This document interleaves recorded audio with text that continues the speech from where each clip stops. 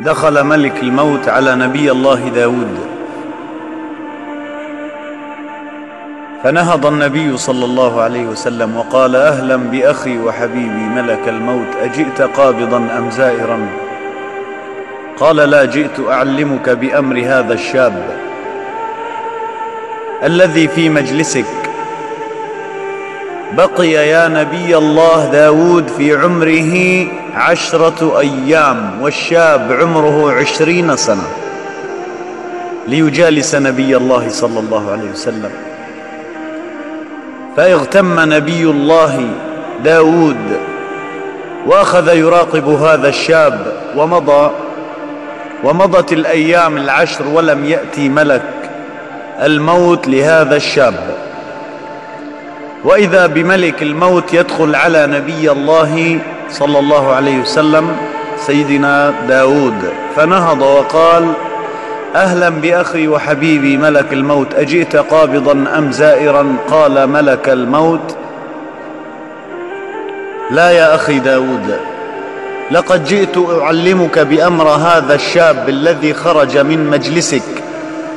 قال نبي الله بلى يا ملك الموت قال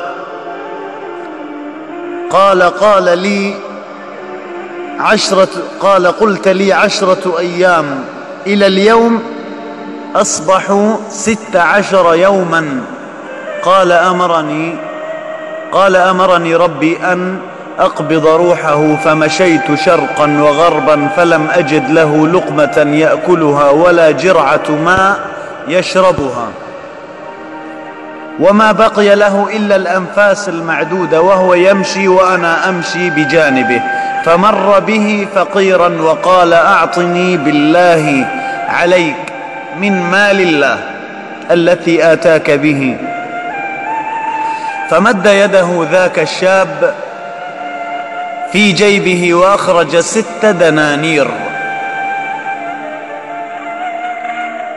وأخرج ست دنانير وأعطاها للفقير فقال الفقير أطال الله في عمرك وجعلك الله رفيقا مع سيدنا داود في الجنة.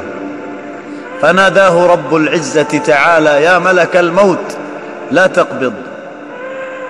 قال ملك الموت ربي لم يكن له لقمة يأكلها ولا جرعة ماء يشربها ما بقي له إلا أنفاس معدودة.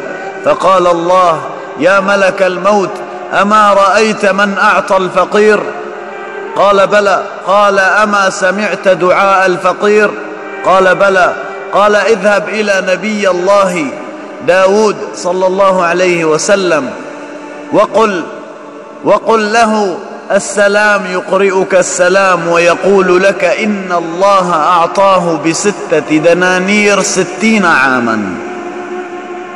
ولا يموت إلا وله من العمر ثمانين عاما وهو رفيقك يا داود في الجنة.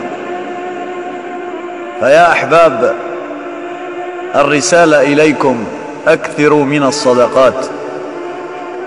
أكثروا من الصدقات فهناك الكثير من الفقراء وهناك الأكثر من الأغنياء. بارك الله فيكم. هذه رسالة للأغنياء اتقوا الله في مال الله واتقوا الله في أنفسكم واتقوا الله في عباد الله.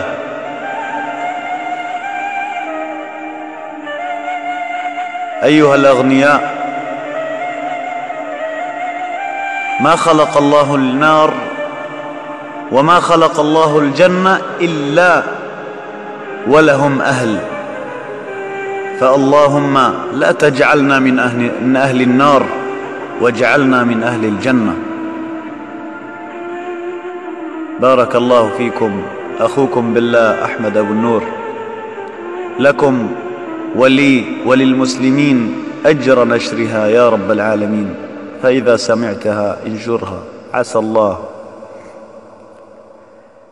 أن يكتبها في صحيفة أعمالنا أنا وأنت والمسلمين. والسلام عليكم ورحمة الله وبركاته. دخل ملك الموت على نبي الله داود. فنهض النبي صلى الله عليه وسلم وقال أهلا بأخي وحبيبي ملك الموت أجئت قابضا أم زائرا؟ قال لا جئت أعلمك بأمر هذا الشاب الذي في مجلسك بقي يا نبي الله داود في عمره عشرة أيام والشاب عمره عشرين سنة. ليجالس نبي الله صلى الله عليه وسلم. فاغتم نبي الله داود وأخذ يراقب هذا الشاب ومضى ومضت الأيام العشر ولم يأتي ملك الموت لهذا الشاب. وإذا بملك الموت يدخل على نبي الله صلى الله عليه وسلم سيدنا داود. فنهض وقال أهلا بأخي وحبيبي ملك الموت أجئت قابضا أم زائرا؟ قال ملك الموت. لا يا أخي داود لقد جئت أعلمك بأمر هذا الشاب الذي خرج من مجلسك. قال نبي الله بلى يا ملك الموت قال قال قال لي عشرة قال قلت لي عشرة أيام إلى اليوم أصبحوا ست عشر يوما. قال أمرني قال أمرني ربي أن أقبض روحه فمشيت شرقا وغربا فلم أجد له لقمة يأكلها ولا جرعة ماء يشربها. وما بقي له إلا الأنفاس المعدودة وهو يمشي وأنا أمشي بجانبه. فمر به فقيرا وقال أعطني بالله